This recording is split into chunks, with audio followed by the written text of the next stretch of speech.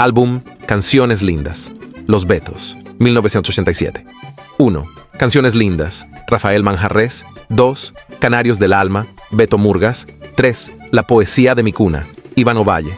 4. El Dueño Tuyo. Sergio Moya Molina. 5. Mi Hoja de Vida. Tulio Villalobos Támara. 6. Por Siempre Sola. Efren Calderón. 7. El Querendon. Heyman López. 8. Duendes. Hernando Marín.